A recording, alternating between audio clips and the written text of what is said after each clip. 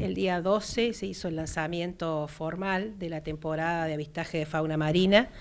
Eh, a pesar de que ya los prestadores turísticos ya habían comenzado la actividad el primero de agosto y esto se extiende hasta el 31 de octubre. Así que bueno, invitamos a algunos colegas de ustedes de la provincia de Río Negro, principalmente de la zona del Valle, para que nos acompañaran en este lanzamiento de temporada y bueno, fue bastante muy productivo, ¿no? Porque ellos vivenciaron el avistaje de fauna marina y lo pudieron transmitir en su radio, en los canales de televisión, en las gráficas o en los portales online, que es lo que nos interesaba a nosotros, ya que este es un producto que hace cinco años con este, que está en el mercado y que nosotros estamos tratando de, eh, incorporarlo, digamos, como un, eh, un producto más turístico dentro de la provincia de Río Negro.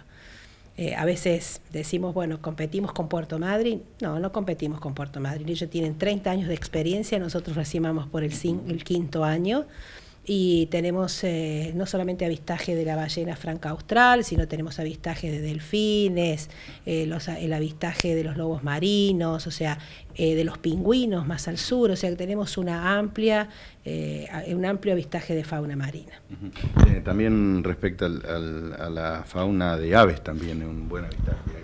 Y todo lo, sí, sí, el avistaje de aves eh, es muy conocido en la zona atlántica, principalmente, bueno, con esa que no está en costa, pero bueno, está muy dentro del corredor del este que nosotros denominamos, que es Río Colorado, Conesa, Viedma, eh, San Antonio Este y Sierra Grande.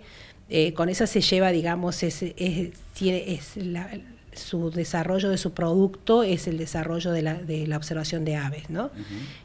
también lo hace así Sierra Grande, lo hace, también lo hace así San Antonio Oeste y por supuesto acá el balneario El Cóndor en Viedma con el loro barranquero. O sea, todo lo que es costa atlántica es muy rico, tanto en el avistaje de fauna marina como en el avistaje de aves.